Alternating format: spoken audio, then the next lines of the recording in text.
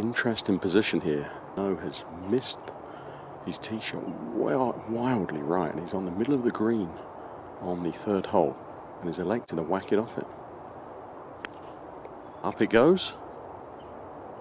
Oh, going to be interesting for the guys putting after that. Hit a good shot though. We're here with uh, PGA Tour Rules official Brad Fabel. Uh, slightly interesting uh, thing just happened there, didn't it? Yeah, uh, I, I, couldn't tell if he was on the green or not. I knew he was close to the green, but uh, evidently, uh, you know, player was on the wrong putting green and decided to play it off the green. So, unfortunately, it's a two-stroke penalty. Is that a local rule or is that a rule of golf? No, that's a rule of golf. Wrong putting green. Okay.